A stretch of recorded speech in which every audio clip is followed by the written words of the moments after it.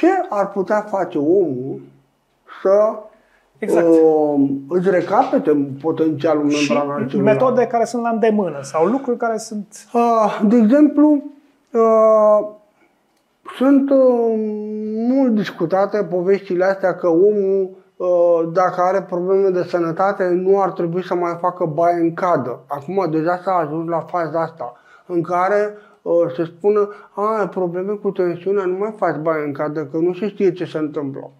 Uh, eu cred așa, că noi avem nevoie de săruri, săruri, cum ar fi, de exemplu, săr, sărurile Epsom. Adică, sărurile Nigari și Epsom sunt derivate ale magneziului. Un lucru important pe care îl vom discuta într-o emisiune viitoare, faptul că pielea respiră 80% de necesarul de aer avut de corp și absoarbe 80% de necesarul de substanțe de care corpul are nevoie. Și atunci noi trebuie să înțelegem că atunci când noi facem baie cu sare Epsom, 20 de minute, sarea Epsom, sulfat de magneziu, o sare amară, se folosea și în perioada bunicii. Doctorii spuneau, domnule, te simți obosit, te simți așa, fă o baie cu așa ceva, o zi da una, nu, pui 500 de grame de sare la o cadă și este ok. Acum sunt oameni care au interdicție, care zic nu, că doctorul mi-a zis că nu e bine. Bun, în situația asta, pui un lighean jos și un lighean pe scaun. Și bagi mânuțele și bagi tălpile în această compoziție și stai 15-20 de minute. Și o să observ?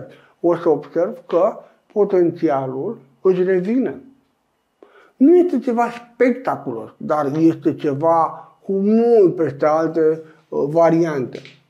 Uh, dacă noi vorbim de faptul că, pe de o parte, începem să înlăturăm toți factorii care ne fură electroni, iar pe de altă parte începem să aducem un flux de grăsimi sănătoase în noi, aducem o mâncare mai proaspătă, aducem o mâncare încărcată cu electroni, aducem uh, anumite sucuri de legume. De exemplu, un uh, foarte bun stimulator al potențialului electric celular membranar, adică la vezica biliară. Vezica biliară este coordonatorul șef al potențialului membranar celular.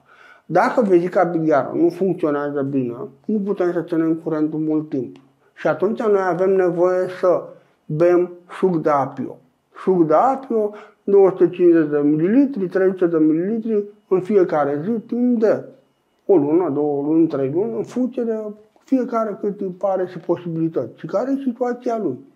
Deci, toate acestea sunt la îndemână. E foarte interesant tot ce ne-ai povestit. Uh, sigur că uh, ieșitul în natură, într-un mediu ionizat, cum este, sunt, de exemplu, uh, băile herculane sau zonele mai înalte, mersul la mare, în apropierea cascadelor, a cursurilor de apă care sunt puțin mai zbuciumate așa, e o zonă în care se produc uh, mulți electroni Sigur. și putem beneficia. Sigur. Nu în ultimul rând, pentru că, vorba aia, mulți, uh, pentru mulți este greu să ajungi frecvent în natură, dar poți să-ți cumperi un aparat, un purificator de aer care emite și electroni da. în același timp. Da. Și deja ai un spațiu în propria da. cameră care se apropie de calitatea aerului de la munte și atunci Ca beneficiezi exact, beneficiezi da. de această încărcătură de ioni negativi la tine în cameră și sigur îți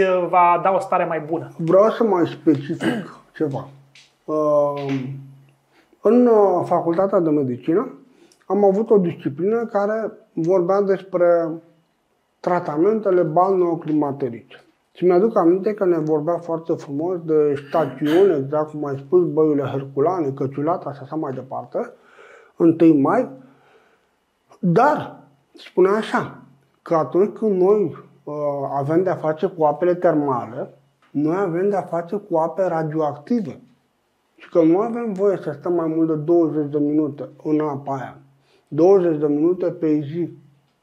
Și după care, și nu număr nenumărat de zile, nu.